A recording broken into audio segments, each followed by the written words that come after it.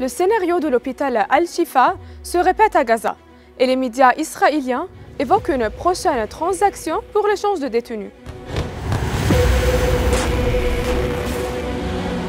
Après avoir vécu des jours difficiles en suivant l'attaque israélienne contre l'hôpital Al-Shifa à Gaza et le moment terrifiant vécu par les patients, les déplacés et même les médecins présents à l'hôpital, nous nous retrouvons aujourd'hui confrontés à un scénario similaire qui annonce une nouvelle catastrophe humanitaire à l'hôpital indonésien.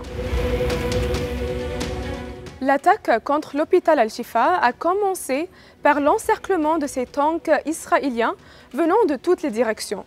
Une scène qui se répète actuellement à l'hôpital indonésien, accueillant des milliers de déplacés, de patients et du personnel médical. Les forces d'occupation ciblent l'hôpital avec des drones, tandis que les tireurs d'élite ouvrent le feu sur tout mouvement à l'intérieur.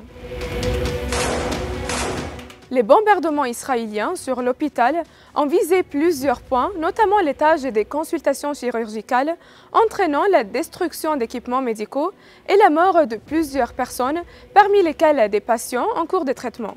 Dans le même temps, la direction a évacué la cour de l'hôpital et a déplacé les déplacés à l'intérieur des bâtiments, provoquant ainsi davantage de pertes humaines. Le ciblage par les forces d'occupation des centres médicaux, désormais connu médiatiquement sous le nom de guerre des hôpitaux, coïncide avec des rapports dans les médias israéliens sur l'approbation de Tel Aviv d'un accord d'échange de détenus avec les factions palestiniennes.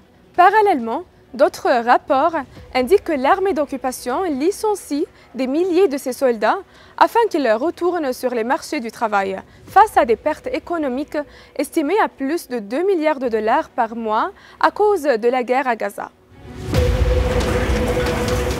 Malgré les discussions continues sur le cessez-le-feu, les bombardements israéliens sur Gaza n'ont pas diminué et n'ont pas cessé à un seul instant.